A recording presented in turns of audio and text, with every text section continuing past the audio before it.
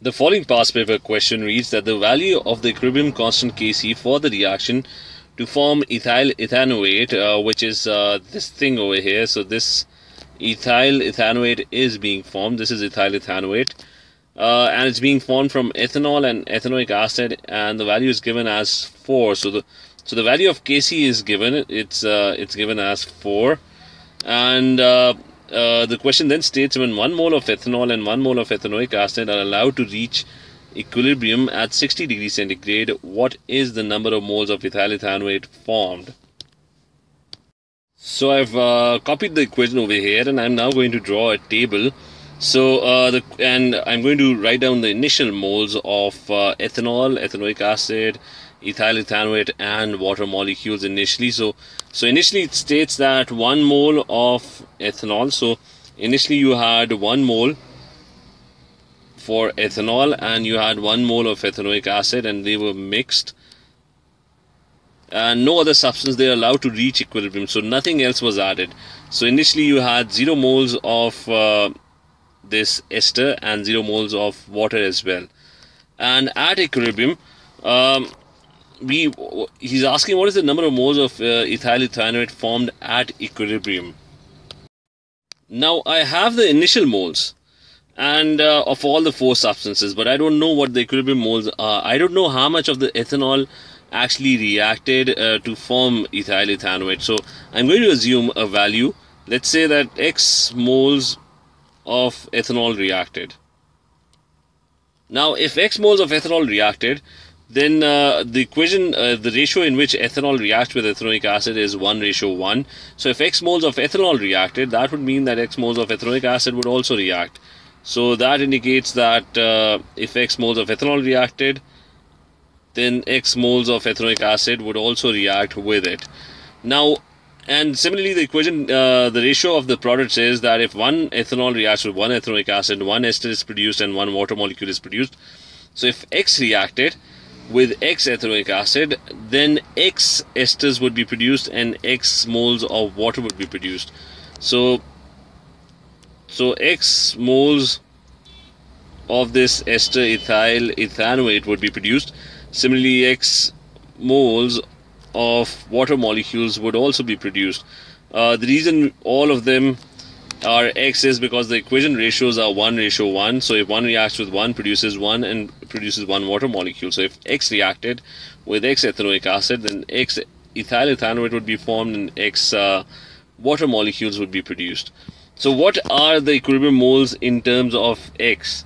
Now initially we had 1 mole of ethanol. And if x reacted the number of moles of ethanol that would be left at equilibrium would be 1 minus x so it's going to be 1 minus x moles of ethanol. Similarly, the number of moles of ethanoic acid initially is 1 mole. So if x moles reacted, the number of moles left at equilibrium are again 1 minus x moles. And on the other side, you have ethyl ethanoate. Initially you had 0 moles. There was no ethyl ethanoate, but if x moles are produced, so the total moles at equilibrium that are left at equilibrium would be would be x because initially you had 0 moles. So x moles of ethyl ethanoate and for water the same would be true as well. You would have x moles of water because initially you had 0 moles of water and at equilibrium if uh, x moles are produced that would mean that the overall moles at equilibrium would be x. So now you have all the equilibrium moles in terms of x and uh, we have the value of Kc and we can write down the expression and use the equilibrium moles in the expression to find the value of x now. So I've written down the expression for Kc now. Uh, Kc is the the ratio of the concentration of products divided by the ratio of the concentration of reactants. So, so the products are written on top in the numerator and the concentration of the reactants are in the denominator. And I'm going to substitute these values that we just calculated. So the value of Kc is also given, it's 4. So that's already given in the question. So 4 is equal to um, uh, ethyl ethanoate is x moles water is also x moles. So it's going to be x multiplied by x, that's a product, divided by uh, the moles of ethanol which is 1 minus x and moles of ethanoic acid which is 1 minus x. So it's going to be 1 minus x multiplied by 1 minus x.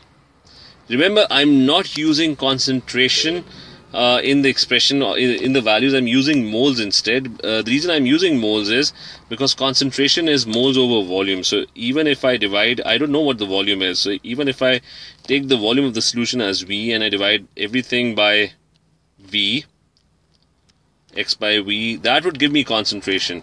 But if I put the values in terms of V in the expression all the V's are going to get cancelled out. The reason they're going to get cancelled out is because it's a, it's uh, over here um, the the moles of products and the moles of reactants are the same. So it's uh, so Kc has no unit in this particular case and the V's are going to get cancelled out. So there's no point in finding out the concentration. You can do away with V and directly put moles in the expression and it would work perfectly fine.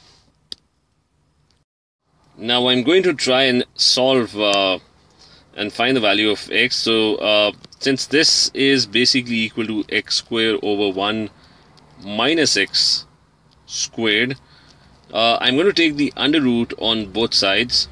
And by taking the under root on both sides I can get rid of the of the square term. So it's going to be plus minus 2 that's the under root of 4 and on the other side I would have x over 1 minus x now this is going to give me two values because 2 has two values it's plus and minus 2 so I'm going to I'm going to uh, solve for plus 2 first. So it's going to be uh, plus 2 multiplied by 1 minus x. So it's going to be 2 minus 2x and that's equal to x.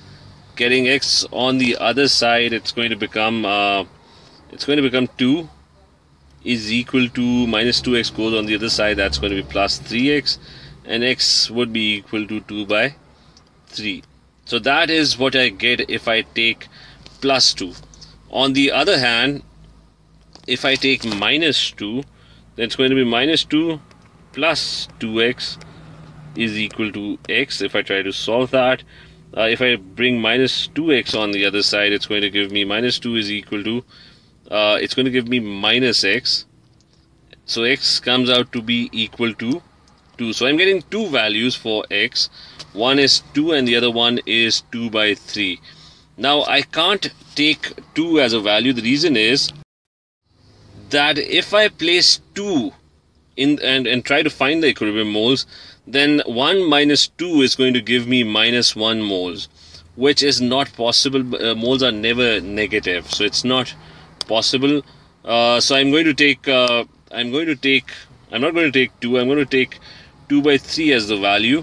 So 1 minus 2 by 3 gives me 1 by 3 so 1 minus 2 by 3 gives me 1 by 3 this is also 1 by 3 and this would uh, x would be 2 by 3 so that's 2 by 3 this is also 2 by 3 now moving back to the question we've already found the moles uh, we found the value of x and we substituted it in the equilibrium moles. That is what we were looking for and the question wanted to wanted to calculate the number of moles of ethyl ethanoate and the number of moles of ethyl ethanoate initially was 0 now they are 2 2 by 3 so the correct option is going to be it's going to be option B in this question